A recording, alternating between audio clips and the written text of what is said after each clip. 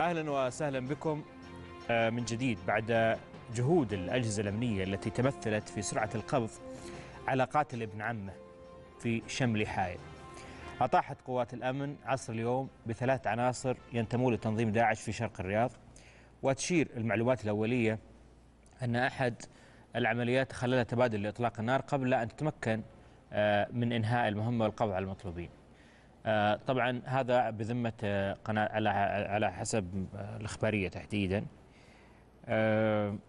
أنا بس بقول شيء الحقيقة قبل أن أستقبل ضيوفي وهذه طبعا صور لل- للي صار اليوم تحديدا. أي أعطوني بس ال- الكاميرا يا شباب أنا ال- ال- في مقال كتبه حبيبنا خلف الحربي أمس اسمه تكفى يا سعد. الحقيقة المقال يرصد آلامنا في يوم. وآلامنا كبيرة جدا في يوم واحد. أنا أقول إن هذا اللي ذبح ولد عمه بهذه الطريقة هذا يا أنه مختل أو أنه سافل أو ما في مروة. وهذا يسري على كل المعاتيه اللي ينتمون لهذا التنظيم. واليوم إذا فيه عالم دين في السعودية. وفي شيخ ولا داعية ولا أي كائن من كان ما طلع. و و وتحدث عن هذه الحادثة. أو جرم داعش بشكل مباشر هو شريك في الجريمة. شريك. اليوم إحنا نبني تاريخ نكتب تاريخ. الأمم ستضحك علينا يوم الأب. أهم شيء أج... الأجيال المقبلة ما تضحك علينا. ممنوع اليوم أحد يبرر لهذه الفئة أي تبرير. يعني كلكم شفتوا الفيديو وأنا و- و- وقووا قلوبكم شوي وشوفوا الثلاث مقاطع مو مقطع واحد. هذا اللي ذبح ولد عمه.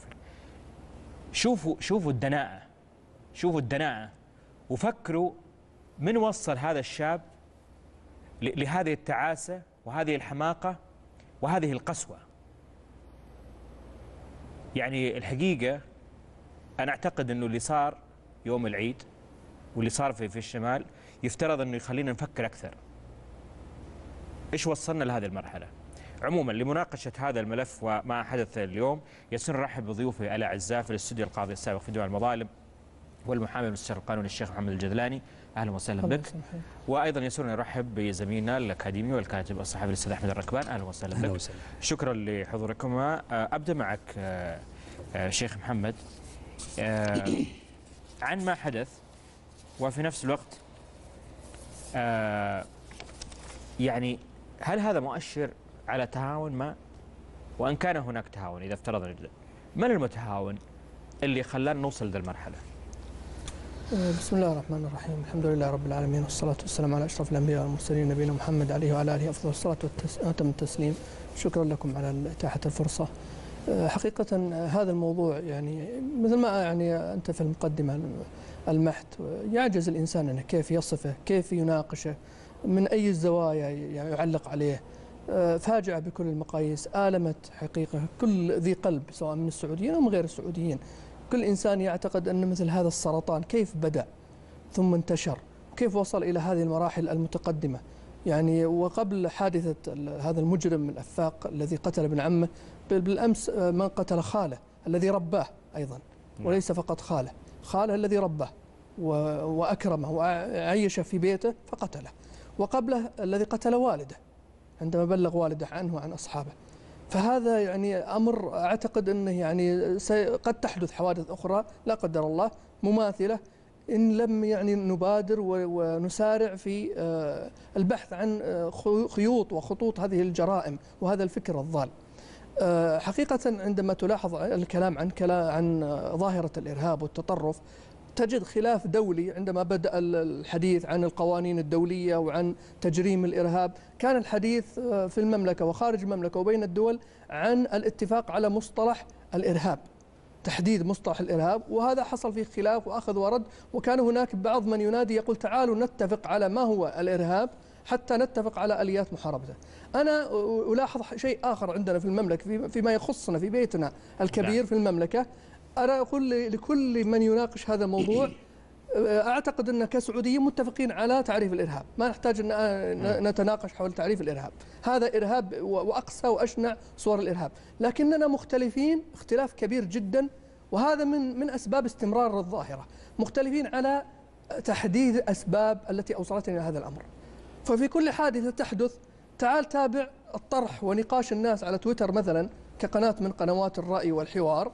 تجد أنها تحدث شرخ داخل المجتمع السعودي وتصبح أيضا هذه القضية آه، نقطة للخلاف لا للاتفاق. بدل أن نتفق على تبشيع هذه الجريمة وعلى الكلام عنها وعلى أيضا يجب أن نتفق على أسبابها. كما اتفقنا على تجريمها الكل يتفق على تجريمها إلا الشذاذ. لكن آه، من يتفقون على تجريم هذه الجرائم يختلفون في أسبابها. ثم يتناحرون بينهم في مناقشة هذه الأسباب. منهم من يلقي باللوم على المشايخ. والمتدينين. منهم من يلقي باللوم على الدولة. منهم من يلقي باللوم على المناهج. منهم من يلقي باللوم فأصبح هناك تشتت.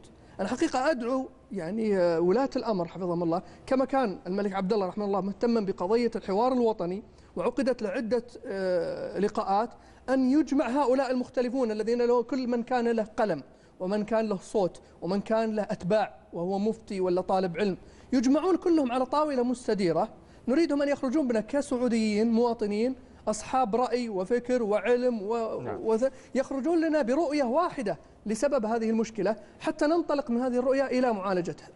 أما اليوم فأعتقد المسألة معقدة. من التسطيح جدا من الكلام التسطيح السطحي ومن عدم احترام الحدث وشناعة هذا الحدث أن نلقي بكل سهولة باللوم على المناهج مثلا أو نلقي باللوم على أي جهة كانت. أعتقد أن الموضوع يحتاج أن نغوص فيه أكثر بعمق. يعني مهما كانت المناهج مثل ما تحدث كثير من الناس إذا كانت مناهجنا هي التي أخرجت هؤلاء فمن أين أتى الداعشيون من أوروبا؟ ما درسوا في مناهجنا. عدد كبير من الداعشيين تأثروا بهذا الفكر الخبيث جاءوا من أوروبا في بلاد الانحلال وبلاد بها مناهجنا ولا تمت لمناهجنا بالصلة. منهم من اتهم منهجنا السلفي منهج الشيخ محمد عبد الوهاب النقي.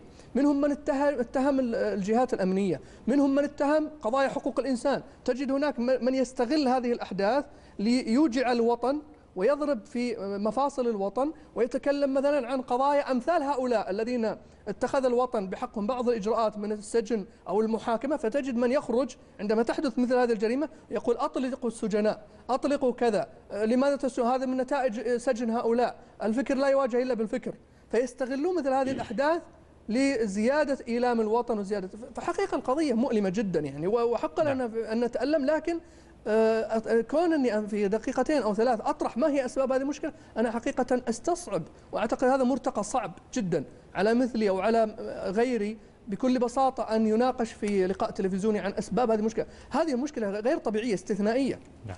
وبشعة لا بالمقاييس الدينية الشرعية ولا بالمقاييس التربوية ولا بالمقاييس البشرية ولا يعني حتى الوحوش ما تفعل هذا الفعل نعم سأعود لك شيخ الحمد لله لكن أسأل الأستاذ أحمد أستاذ أحمد يعني في ذلك يعني من الناحيه الفكرية الشيخ محمد تطرق ولكن من ناحية يعني أمنية كيف تشوف أداء وزارة الداخلية في في في ما حدث في في الشمال واليوم وفي الأحداث الأخيرة بشكل عام؟ اولا مساء الخير لك ولمشاهدي روتانا الخليجية. ودائما أنتم سباقون في مثل هذا الموضوع. آه خليني بس في أقل من 30 ثانية أرد على الشيخ محمد إنه يجب أن إحنا نتجاوز في تحديد نوع المشكلة أو تصنيف المشكلة وأسبابها، أسبابها عرفت الآن على مدار 15 سنة منذ أن كانت القاعدة متبنية التفجيرات في المملكة العربية السعودية وفي بعض دول الخليج. القوى الأمنية آه، أدت دورها بشكل كبير والدليل على ذلك اليوم حادثتين متتاليتين واحدة في الدمام والآن في الرياض آه، تم القبض على مجموعة من الشباب. آه، أما حدث في حائل هو خارج عن النطاق الأمني أصلا لأنه أشخاص خانوا ابن عمهم فهذه قضية اجتماعية أكثر مما هي قضية أمنية. سرعة القبض على على الجانيين هذا أيضا دليل على نجاح القوات الأمنية في المملكة العربية السعودية. المشكلة اللي إحنا يجب أن نصلها وهي واضحة كيف يصل هؤلاء الشباب إلى الجماعات جماعة داعش في, في, في, العراق وفي غير العراق. ما هي الوسيلة توصلهم؟ هي وسائل تقنية وتكنولوجيا. إذا عرفنا ما هي الوسيلة توصل هذه الجماعات بي بي بي بالشباب في المملكة العربية السعودية. الناحية الثانية وش سبب آه، لجوء الشباب إلى إلى إلى إلى إلى الفراغ الكبير في الإنترنت أو في تويتر؟ إهمال أسري عدم متابعة الأسرة عدم مصاحبة الأبوين للإبن وهذه يعني خطورة شائعة ترك الإبن أو الإبنة آه، بساعات آه، داخل غرفهم آه، والدليل على ذلك إن إن والد القاتل أمس يعني نسأل الله سبحانه وتعالى أن يعني يعني الحقيقة يعني نتألم من آلم الوالدين أمس. فهي جريمة الحقيقة ليست لل- للمجتمع بل, بل للوالدين شخصيا. هو قال إنه لاحظت على ابني آه، يعني لاجئ أكثر إلى إلى الكمبيوتر وإلى الجهاز وحاولت أزوجه وحاولت أت- أتعاطى معه لكنه رفض وقال أجل أجل. حتى إنه شك إنه كان يناظر أفلام آه، غير أخلاقية. ما كان عنده تصور إنه يلجأ إلى داعش بحكم ال- آه، الكاريزما أو الشكل ال- ال- ال- القاتل. آه، أنا أعتقد إنه الدولة متنبهة لعملية التواصل الاجتماعي آه، كيف الآن يجب اولا أن نبحث كيف إحنا نحاول نقطع الطريق على عملية التواصل ما بين الشباب وما بين داعش. الحاجة الثانية كيف إحنا نربي لدى الأسرة ونثقف لدى الأسر قبل المدرسة وقبل المنهج؟ هذه أمور آه، عشنا فيها سنوات واتهامات مثل ما قال الشيخ قبل قليل وأنا أثني على كلامه لكنها انتهت هذه هذه الحزمة من من من التوقعات. الآن يجب إحنا الآن كيف إحنا نتعامل مع الشباب؟ ما هي الوسائل اللي نرفه فيها الشباب؟ ما يعني ما هي النواقص اللي يحتاجونها الشباب؟ في حائل مثلا حائل لديها قصور كثير في مع أنها أقامت مؤتمر دولي مع أنها أقامت للراليات تقوم فعاليات لكن برضو لم تشبع رغبات الشباب. طيب في دواعش في جدة وفي الرياض. أنا أتكلم عن بشكل عام في المملكة العربية السعوديه أي. بشكل عام حتى في الرياض. ما هناك شيء يشغل هؤلاء الشباب؟ المؤسف إنه يعني لو تلاحظ الشباب أعمارهم من 18 سنة إلى إلى إلى 25 يتابعون ترى بعض كثير من المغردين. اللوم الحقيقي اللي, اللي يلامون فيه بعض بعض من سموا أنفسهم دعاة ومتابعيهم أكثر من خمسة إلى ستة سبعة ملايين وأعني ماذا أقول. هؤلاء يغردون الحقيقة وي- ويناشدون بمتابعة شخصيات معينة هم غير معروفين. فالشباب ينجرفون خلف فلان وعلان. هؤلاء الدعاة مع الأسف الشديد يطلعون بتغريدات بسيطة هي فيها السم وهم وهم لهم ثقلهم في المملكة السعودية شوف أحمد في شيء حزن يعني شيء غريب. تخيل لما صارت تدافع من ذول ال- المشايخ اللي غرد واللي عمل فيديو واللي عمل سناب واللي عمل في التدافع. يشجب الأمن. اي ولما صار آه، اللي صار في آه، حايل في الشمال أو موضوع ولا كلهم ساكتين. نعم ولا حد تكلم. يعني أغ... أو الأغلبية صمت غريب. يعني ع- على إيش هذا يدل؟ يعني يعني على ماذا يدل؟ هل يدل إنه في مؤامرة ضد هذا البلد ولا يدل إنه إن ال- ال- الجهات الأمنية أعتقد أن يجب أن تتعامل مع هؤلاء بطريقة مختلفة؟ والله يا أخي فعلا مو في قضية هذه في كثير من القضايا.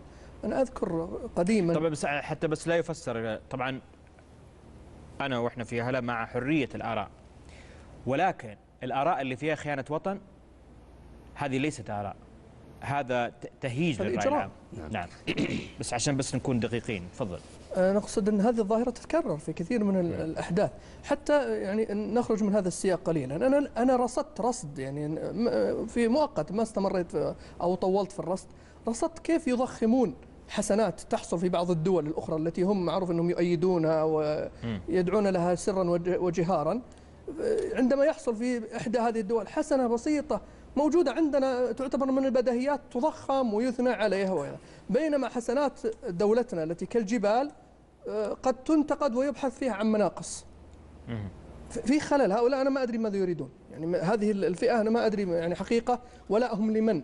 وما وماذا يريدون أن يصلون؟ لا أستطيع أن أجاوب على هذا. لكن تسمح لي أنا. أكم على يعني تقدير لسؤالك من الشيخ. لاحظ أنه بعض المواقع المشبوهة وهي تحمل اسم المملكه العربيه السعودية.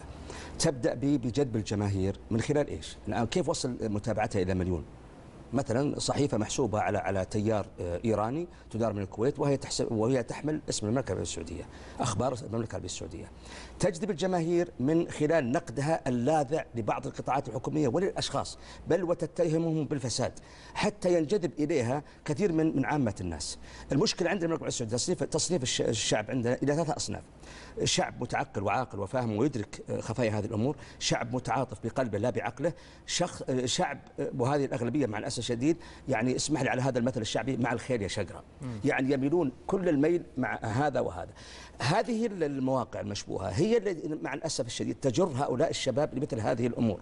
الشيء الثاني مثل ما ذكرت قبل شيء ان بعض الدعاة اللي اسموا أنفسهم دعاة وهم أوقفوا بالحقيقة عن الدعوة لم يتكلموا مثل ما تفضلت اليوم، تكلموا عن منى واس- واستعجلوا في الحكم، بينما معروف ان ان ان ان, أن, أن السبب عرف الآن وعرف لدى شهود العيان إنه طبعا ح- حملة ايرانيه. ال- القضية الآن اللي أنا أحب أتحدث إليها أستاذ علي إنه يجب آه، أن يحجم هؤلاء الدعاة من سناب شات ومن تويتر وتغريداتهم طبعا ومن المواقع الإلكترونية يجب أن يحجموا هذا التحجيم هو اللي حقيقة يساعد الدولة ويساعدنا إحنا كجماهير وكمحبين الدولة يساعد ويخفف من متابعة الشباب لهم.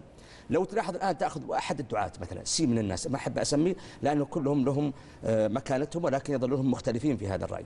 هؤلاء محتقنين على على على الحكم في المملكة وعلى الأنظمة. من هذا المنطلق هو يبث السم بطريقة ذكائية بطريقة الضحك وبطريقة ال- ال- العبارات البسيطة. نعم.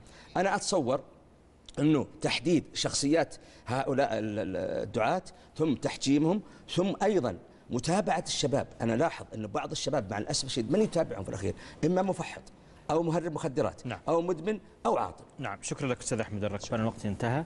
شكرا لك الشيخ محمد الجذلاني أيضا على حضورك معنا في الاستديو نتمنى لوطننا الخير آه، دائما. أشكركم لأنكم تخصصون جزء من وقتكم لمتابعتنا في هلا ألقاكم غدا في أمان الله.